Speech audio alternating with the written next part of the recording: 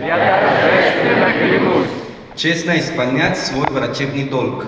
честно исполнять свой врачебный долг.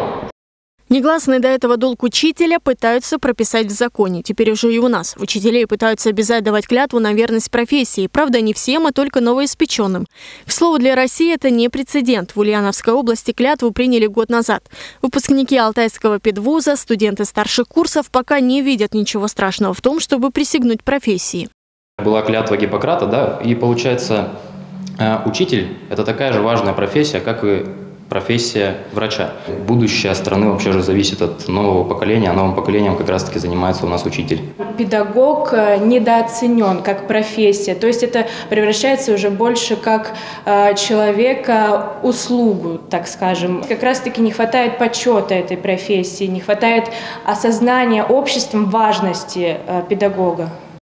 Обязанность давать клятву прописали в проекте Краевого закона о статусе педработника. Под него подведут все права и обязанности учителей.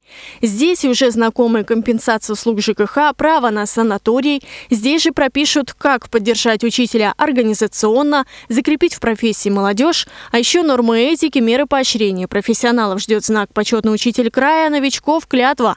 В законопроекте даже есть примерно ее текст.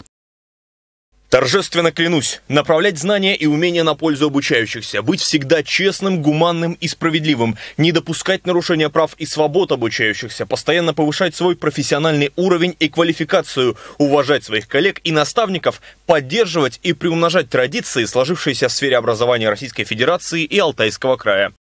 В Краевом Минобре подчеркнули, клятва не попытка формализаторства. Каждая школа, возможно, примет свой текст обращения. Ритуал будет проходить в торжественной обстановке среди коллег. Узнав о такой идее, общественность Барнаула взбудоражилась. Многие назвали ее не слишком удачной. По мнению горожан, лучшим мотиватором для будущих учителей стало бы повышение их материального вознаграждения. Каким же образом клятва улучшит социальное положение учителей? Бред, ЗПМ поднимите. Первые полтора года, когда я работала, моя зарплата была очень маленькая. Охранник в школе получал больше, чем я. Но сейчас за счет стимулирующих, да, то есть если ты а, работаешь, тренируешь детей на Олимпиады, живу на работе 29 часов в неделю у меня нагрузка, плюс надомник. Александра в школе три года и искренне горит любимым делом. Признается, гореть из дома родителей проще. Живи одна, сама себя бы не потянула. Поэтому воспринимает работу скорее как хобби, в хорошем смысле. Она тоже уверена, статус педагога требует внимания, но и поддержки тоже. Один из сотрудников педвуза сказал, что давно пора ввести доплату за магистратуру или красный диплом для помощи молодых учителей без стажа, но их слова не слышат. Это не будут большие деньги. Никогда учительство в России не было богатым. Вот, например, к столетию гимназии практически каждый учитель у нас получил э, свое, свою награду, начиная от поощрений э, районного уровня и заканчивая федеральным уровнем.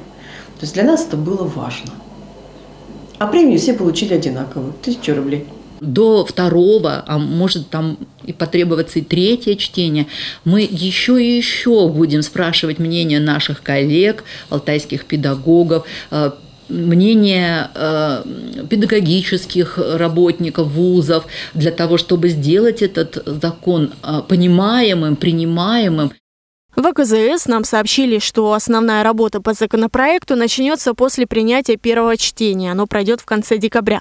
А уже в этот четверг профессиональное сообщество встретится с авторами идей, чтобы обсудить детали нововведения.